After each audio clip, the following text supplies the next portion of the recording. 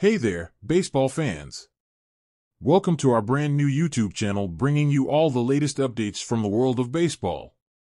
Today, we've got some juicy news straight from the Dodgers camp. Coach Dave Roberts spilled the beans on why young pitcher Sheen hasn't been hitting the live training games. Turns out, it's all about being super careful with this 24 year old star to keep him healthy and growing strong. But hey, just because Sheen isn't facing batters live doesn't mean he's not a big deal. He's still a hot prospect for the Dodgers, especially with main man Walker Buehler on the mend from Tommy John surgery. And let's talk numbers. Sheen's rookie season stats are seriously impressive with a 4.92 ERA, a 4-1 record, 64 strikeouts, and a 1.19 whip in 60.1 innings. That's some serious potential right there. The Dodgers are all about protecting their players, especially the young guns like Sheen, so they're taking things slow and steady during spring training.